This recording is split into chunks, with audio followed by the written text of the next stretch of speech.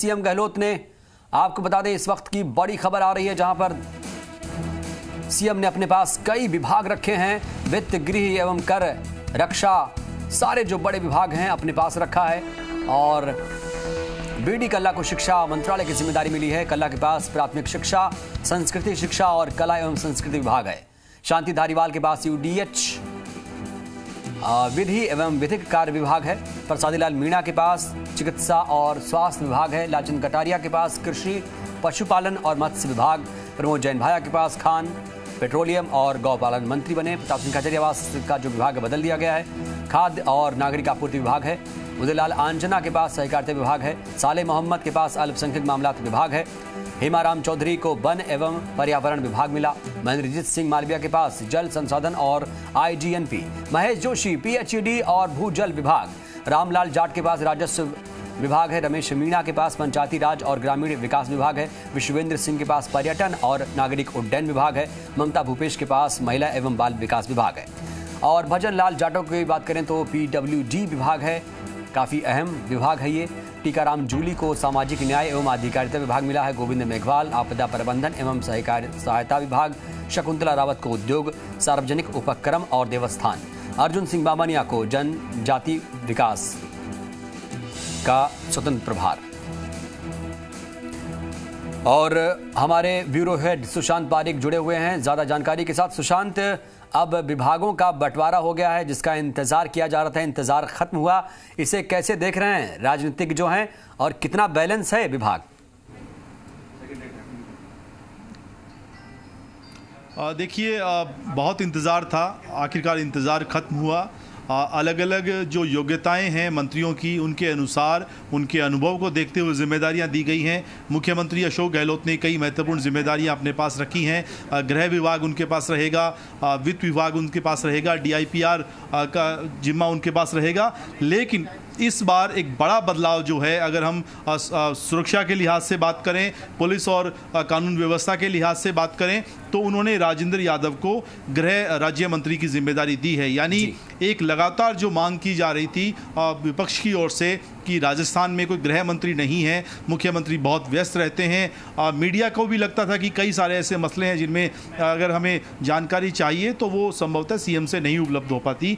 लेकिन इसके साथ साथ राजेंद्र गुडाक को भी अगर हम देखें जी, तो जी. उनके पास भी आ, कुछ जिम्मेदारियाँ सीएम ने दी हैं। उनमें होमगार्ड सिविल डिफेंस का विभाग उनके पास रहेगा। गृह विभाग देखने वाले मेरे दो साथी जी, अभी विष्णु और शरद हैं। पहले विष्णु जी से बात करते हैं। विष्णु क्या ये समझें कि फाइनली अब एक ऐसा गृह मंत्री गृह राज्य मंत्री के तौर पर राजेंद्र यादव मिला है जो प्रदेश की कानून व्यवस्था को और बेहतर कर सकता है बेहतर मॉनिटरिंग कर सक की जा सकती है। और सीएम जिनके पास बहुत काम रहता है रेगुलर रेगुलर जो मीटिंग उनको करनी पड़ती है उससे निजात मिलेगी और सिस्टम को बेहतर किया जा सकेगा। हाँ बिल्कुल ये सही है क्योंकि तीन साल से लगातार मांग चली आ रही थी कि प्रदेश में अलग से गृह मंत्री हो क्योंकि मुख्यमंत्री के पास ये तीन साल से ये प्रभार था। ऐसे में जो विपक्ष की ओर से लगातार आरोप लगाए जा रहे थे कि यहाँ पर गृह मंत्री अलग से नहीं है जिस जिससे अपराध बढ़ते जा रहे हैं और कानून व्यवस्था की स्थिति बद से बदतर हो रही है। ऐसे में अब अगर राजेंद्र यादव को लगाएँ तो वो इसकी पूरे विभाग की नज़दीक से समीक्षा कर पाएँगे। हालाँकि मुख्यमंत्री भी समय समय पर समीक्षा कर पा रहे थे, लेकिन चूँकि मुख्यमंत्री के पास पूरे प्रदेश के विभिन्न सरकार का दायित्व था भार था, यानी ये कह सकते हैं कि अधिक भार था, ऐसे में अब राजेंद्र यादव को अगर इस विभाग मिला है तो वो ज़्यादा नज़दीक से और ज़्यादा समीक्षा कर पाएँगे कि कहाँ कहीं कमी आ रही है तो उसको दुरुस्त कर पाएँगे और सीधे डायरेक्ट अफसरों से भी आ, उनका संपर्क हो पाएगा। क्योंकि अभी तक ये होता था कि मुख्यमंत्री से डायरेक्ट जो अफसर हैं डीजी या बड़े रैंक के अधिकारियों को छोड़ दो मिलने में भी संकोच एक रहता था या समय नहीं मिल पाता था। लेकिन अगर अब राजेंद्र यादव को लगा है तो अब जो अफसर हैं वो सीधे अप्रोच कर पाएँगे। इसके अलावा भी जैसे विधानसभा से जुड़े सवाल हैं वो फाइलें आगे तक जाती थी अब सीधे डायरेक्ट राजेंद्र यादव के मार्फत निकल सकेंगी।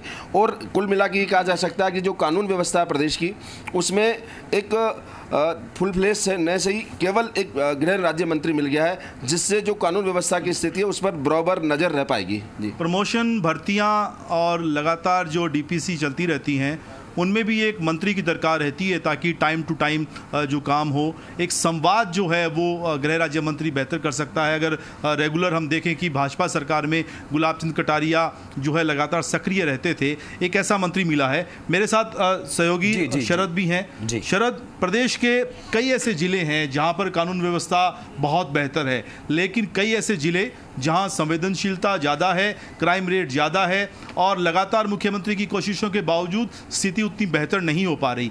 गृह राज्य मंत्री के बाद लगता है बदलाव आएगा, पुलिसिंग को बेहतर किया जा सकेगा और सिस्टम को सुधारा जा सकेगा। देखिए, प्रदेश में अगर बात की जाए तो पुलिस को लेकर दो पहलू होते हैं कि एक तो क्राइम को किस तरह से कम किया जाए, दूसरा लॉ एंड ऑर्डर किस तरह से बरकरार रखा जाए। मुख्यमंत्री अशोक गहलोत के पास सारी जिम्मेदारियाँ थी, वो इतना समय नहीं दे पाते थे कि इन सारी चीज़ों पर, पहलुओं पर ध्यान रख सके। तो उस दौरान डी डीजी एडीजी जो होते थे रिव्यू मीटिंग भी लेते थे, वहाँ खुद जाके मॉनिटरिंग करते थे। लेकिन जब अब गृह राज्य मंत्री मिल गया है, राजेंद्र यादव को ज़िम्मेदारी दे दी गई है। तो निश्चित तौर पर वो जो भी पीएचक्यू के अधिकारी हैं उनसे समय समय पर रिव्यू मीटिंग जो कि पहले जिस तरह गुलाबचंद कटारिया थे तो हर तीन महीने से वो एक मीटिंग लेते थे और हर एक महीने से एक मंथली मीटिंग लेकर की लेकर भी फीडबैक लेते। थे उस तरह से फीडबैक हर महीने लिया जा सकेगा। कह सकते हैं कि जो भी पेंडेंसी है उसको समय पर ख़त्म किया जा सकेगा। लोगों को जल्दी न्याय मिल सकेगा। इस तरह की व्यवस्थाएँ आने वाले समय में हमें बेहतर देखने को मिल सकती है। सीएम की कुछ इच्छाएँ कुछ मंशाएँ भी हैं जो खासतौर खास तौर पे अ, थानों में स्वागत कक्ष बनाने की है।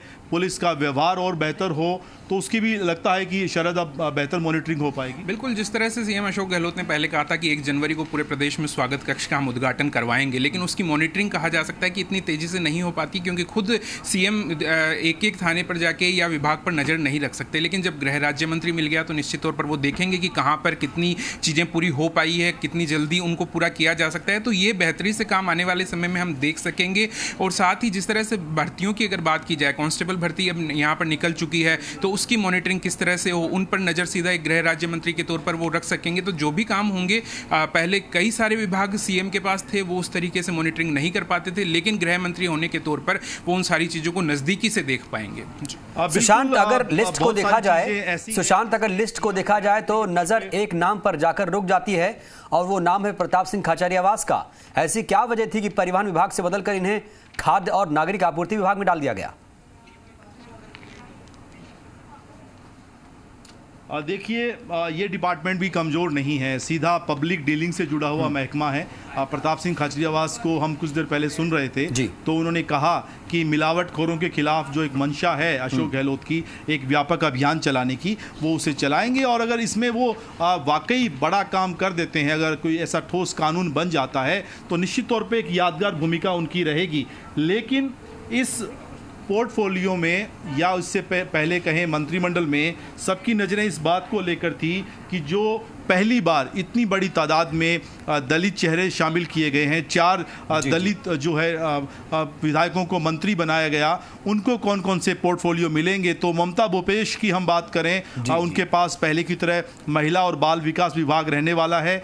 इसके अलावा भजनलाल जाटव को पीडब्ल्यूडी केवल एक डिपार्टमेंट उनके उनके पास है और ये राज्य मंत्री से प्रमोट होकर कैबिनेट बने हैं और ऐसा विभाग जो सीधे तौर पे जनता से जुड़ा हुआ कई विधानसभा क्षेत्रों में इस डिपार्टमेंट की परफॉर्मेंस ही पार्टी की हार और जीत तय करती है। सड़कों की खस्ता हालत से पार्टी को नुकसान होता है और सीएम चाहते भी हैं कि इस डिपार्टमेंट में और बेहतर ढंग से काम हो। सचिन पायलट जब मंत्री बने थे उनके पास ये महकमा था। इसके अलावा टीकाराम जूली सोशल जस्टिस ये भी जो है मास्टर भवनलाल मेघवाल का डिपार्टमेंट। उनके बाद अब टीकाराम जूली जब प्रमोट होकर कैबिनेट बने हैं और ये भी व्यापक तौर पे बड़ी तादाद में लोगों से जुड़ा हुआ महकमा। इसके अलावा जो मंत्री बने हैं जिनको लेकर सबको लग रहा था कि ये मंत्री बनेंगे, लेकिन डिपार्टमेंट कौन सा होगा? हम बात कर रहे हैं गोविंद राम मेघवाल की। खाजूवाला से आते हैं और डिजास्टर मैनेजमेंट और रिलीफ डिपार्टमेंट इनके पास रहेगा। पॉलिसी प्लानिंग भी इनके